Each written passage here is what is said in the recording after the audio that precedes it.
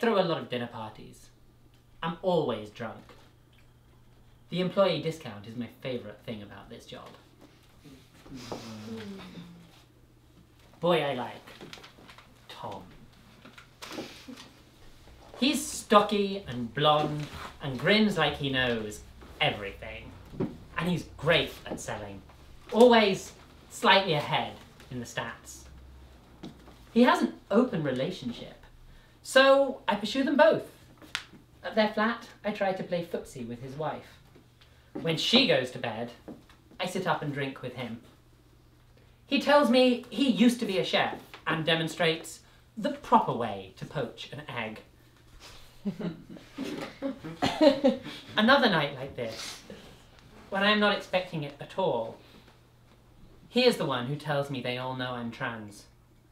Or like, there's not unanimous accord on it, but there's been talk, and he, of course, is sure.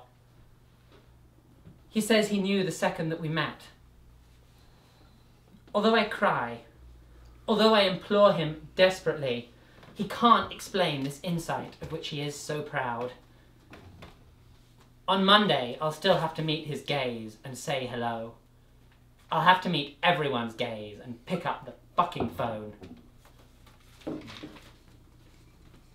Monday. I meet everyone's gaze and pick up the fucking phone. I don't control my thoughts, but I control my face.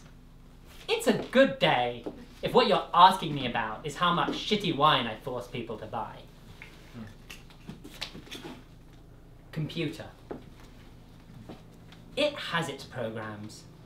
Dialer, targets, offers list. It's never tired. Never even gets turned off. Every morning, it's there. It says, call them, call them, ask them, do they need some wine? Then lie the way I prompt you to until they buy, or else hang up. It is my frenemy. I cover it with drawings I do of skulls, or little cartoons of people who hate their lives.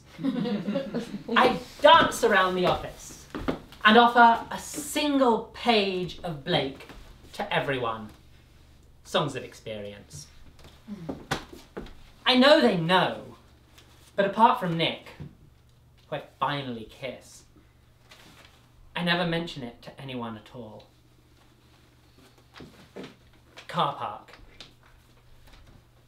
They have this model wine press in the parking lot, full size. I'm inside, calling my mother on the phone and saying, This can't go on. I do not tell her that they figured out I'm trans or that Ben left. I miss him so. I cry to Ryan Adams songs. I do not say, my understanding of myself is a dead end. I can't be normal. It doesn't work. Instead, I say, perhaps this isn't the right career for me. Perhaps I'm not cut out for office work. Sorry.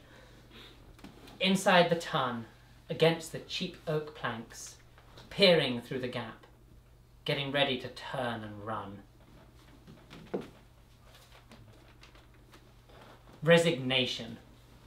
I'm never going to feel again. I almost want to give up wine. All I did was lose and lose.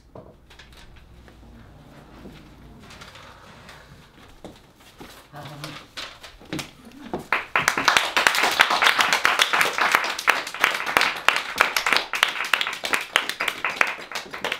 um, so yeah, that was that was one about a job. Um, jobs are terrible. You know what else is terrible? Relationships. Um, so here's one about a relationship because we're clearly on terrible things tonight. Um, this is about an ex of mine. Her name is Amy, um, and it is called Fucking Amy. um, it's in three parts. The first one is called Fuck.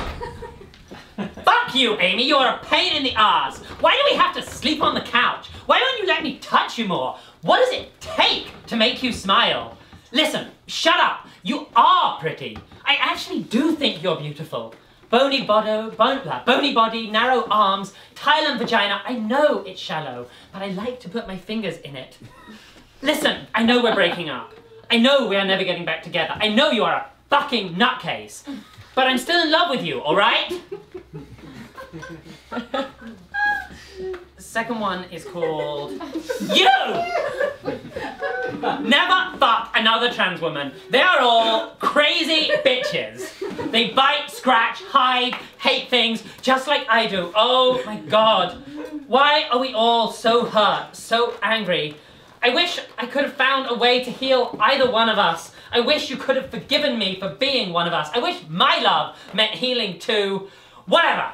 Fuck you, Amy. I had enough. You wanted me to go away? We both got what we wanted from this. I hope you're happy with how it went. And the third one is Amy!